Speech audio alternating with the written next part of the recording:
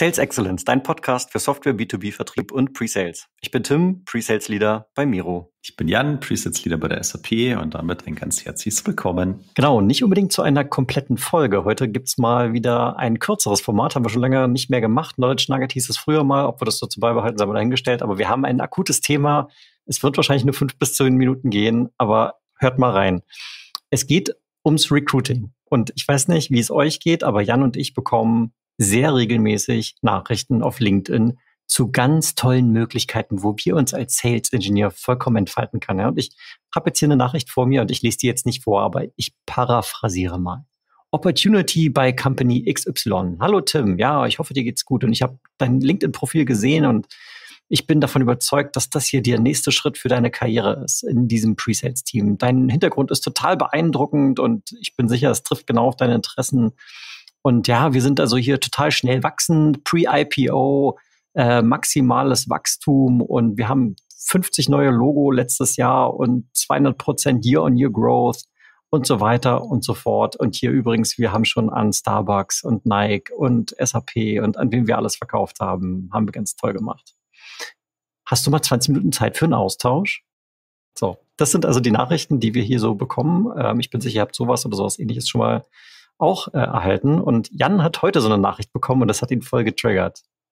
Und Jan, bitte jetzt nimm noch mal dazu Stellung. Wie hast du dich dabei gefühlt? Ich raste komplett aus einfach. wirklich. Also man muss ja sagen, du hast es ja schön paraphrasiert. Ähm, da stand ja in dem ersten Absatz, also die Nachricht, die ich da heute bekommen habe, stand ja wirklich drin. I have reviewed your LinkedIn profile carefully. und, Glatt und dann, gelogen. Ja, genau. Dann kommt generischer Abfall, wirklich. Also es ist, ich kann es auch gar nicht mal anders sagen. Es ist wirklich unfassbar. Es ist respektlos.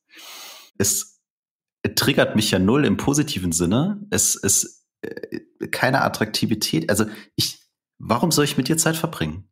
Ja, das musst du mir mal erklären. Und du siehst, dass das Copy-Paste ist. Also das Einzige, was hier persönlich ist, ist, dass mein Vorname da steht. Ne? Das, äh, das, das macht, macht anscheinend dann die Automatisierungssoftware richtig. An der Stelle aber alles andere ist wirklich, da frage ich mich, wieso erzählst du mir das? Ist mir vollkommen egal, wie viele neue Logos, Year over Year Crows oder wie deine Kunden gerade alle heißen.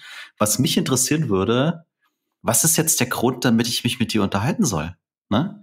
Und bevor du da reingehst, Jan, nochmal ein ganz kurzes Statement. Ne? Die HR-Abteilung und die Recruiter, die haben den Schuss noch nicht gehört. Wir befinden uns im Tech-Vertrieb und dazu gehört auch Sales Engineering in einem absoluten Arbeitnehmermarkt. Jeder, der irgendwie Vertriebserfahrung hat, bekommt mehrere Nachrichten, teilweise am Tag, mindestens in der Woche ein paar, zu solch, genau solchen Themen. Und die Leute checken nicht, dass sie mit diesen generischen Nachrichten einfach niemanden hinterm, hinterm Ofen vorlocken. Ja, das ist doch einfach das Thema. Und ich, äh, dieser, dieser, dieser kurze Podcast hier soll mal einen Beitrag dazu leisten, dass die Leute mal aufwachen und mal die Perspektive ändern. Wenn ich in einer Ladenzeile laufe und da gibt es 20 verschiedene Eisläden, ja, also da steht bei jedem Eisladen das Gleiche, dann habe ich doch kein Differenzierungsmerkmal. Und genauso ist es. Ja, du hast es sehr schön gesagt äh, und ich bin wirklich, bin wirklich gerade erregt. Im, Im negativen Sinne, ja. Deswegen ist es gut, äh, dass du hier die Ruhe bewahrst. Aber ich finde das ganz schlimm und ich habe mir äh, vorhin tatsächlich mal die Mühe gemacht, da zurückzuschreiben. Also zum einen, dass ich kein Interesse habe an einem Austausch und meine Antwort eben zu ihrem Approach nein ist, aber auch mal genau diese Fragen gestellt. Ne? Also du kannst mir doch nicht glaubhaft machen wollen, dass du irgendwas carefully dir angeguckt hast. Weil das spiegelt sich in der Nachricht ja null wieder. Also warum machst du dir nicht die Mühe, mich wirklich in den Mittelpunkt zu stellen? Gib mir doch das Gefühl, dass du dich tatsächlich mit mir beschäftigt hast dass du tatsächlich Anknüpfungspunkte gefunden hast, wo du mir eine Brücke baust, warum es ganz toll wäre, diese 20 Minuten zu investieren. Also dieses bewerberzentrisch, wie du es gesagt hast, aber ich muss ja fast sagen, dieses menschzentrisch. Also bitte behandle mich doch als Menschen. Weil das da drin, das ist ja unfassbar.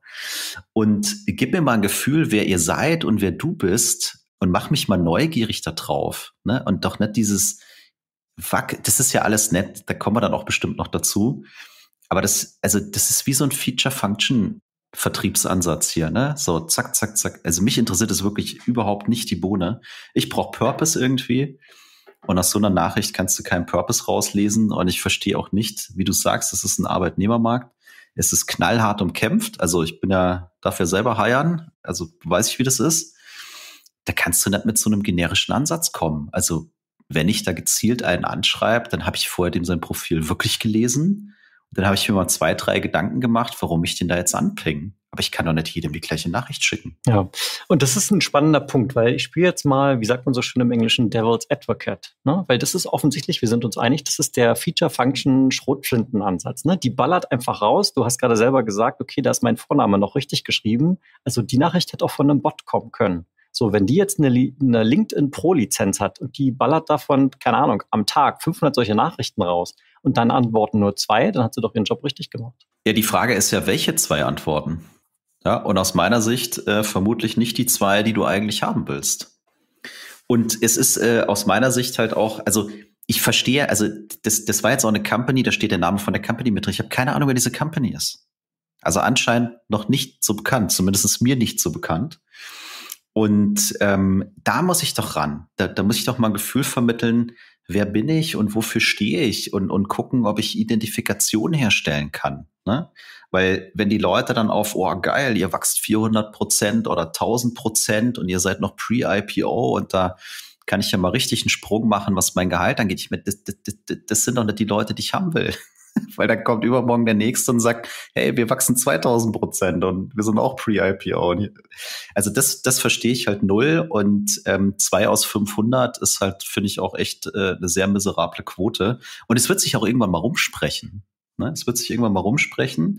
Und wie du sagst, du bist halt beliebig austauschbar, weil solche Nachrichten kriegst du mehrfach die Woche. Deswegen wäre es ja umso einfacher, da mal rauszustechen. Was bedeutet das in Konsequenz? Ich muss halt wirklich mal das Profil lesen und nicht nur so tun, als hätte ich es getan und dann vielleicht auch mal eine Ansprache zu wählen, die bewerberzentrisch ist. Ja, das erfordert ein bisschen Mühe. Im Prinzip ist das ganz ähnlich. Ich habe letztens auch den Vergleich gezogen, Recruiting und Vertrieb, habe extrem viele Parallelen. Und hier zeigt sich das auch wunderbar. Ne? Das ist ein Cold Outreach, der ist einfach so dahin gerotzt. Der ist einfach Kacke, Mann. Es ist einfach Kacke. Ja, so, das musste jetzt mal raus. Und ich denke, vielleicht können wir hier auch schon einen Punkt setzen. Ne? Wir haben gesagt, fünf bis zehn Minuten, acht Minuten sind gleich vorbei. Ähm, mal ein kleiner Denkanstoß für alle Hiring Manager, für alle Recruiter, jeder, der im Softwarevertrieb, insbesondere Sales Engineers, mal einstellen möchte, vielleicht mal eine Möglichkeit, hier zu reflektieren. Das hast du sehr schön gesagt, Tim. Danke. Danke euch fürs Zuhören und bis zum nächsten Mal. Ciao.